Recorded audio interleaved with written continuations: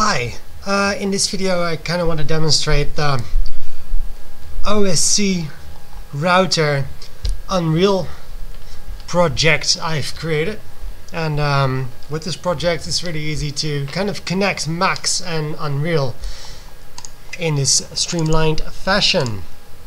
So this uh, Unreal project comes with uh, some blueprints and a max patch and with this max patch you can control certain parameters of uh, yeah certain objects in this scene. So if I hit play you can see the sphere moving from right to left and I can also rotate these cubes and I can change the color of the material of one of these cubes. There. Isn't that cool?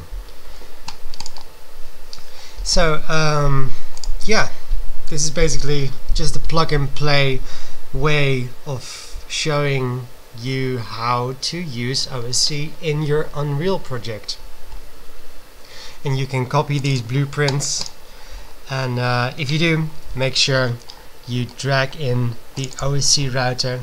BP OSC router needs to be in your level and then you can uh, yeah copy these blueprints or um, create your own using the objects that I've made to yeah basically receive OSC in other blueprints as well and attach certain values to parameters of objects like rotation or light intensity whatever.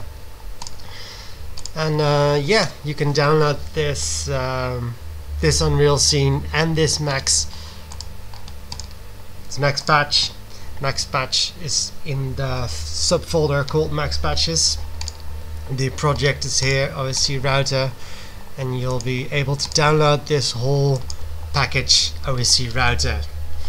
Uh, link in the description. Alright, that's it. Cool. Bye.